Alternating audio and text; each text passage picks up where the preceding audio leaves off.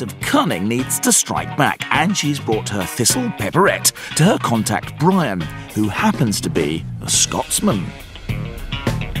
That is rather lovely. I'll tell you the reasons why I bought it. Novelty silver is, is a good thing to buy. It's always desirable and collectible. This one is actually made by a rather important silversmith. If you look at it closely, you can see that it's got the initials JW in a, in a little circle for Joseph Willmore.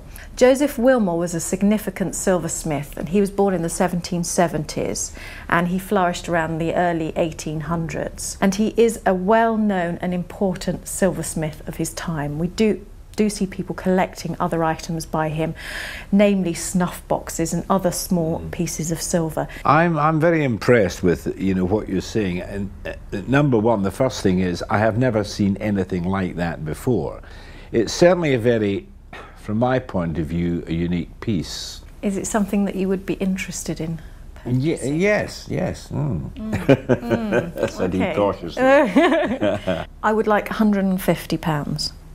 150. Mm. That's the uh, considerably beyond the mark. Is it? As far as I'm concerned, yes. I'd be looking at 100. I would like to say one, 140.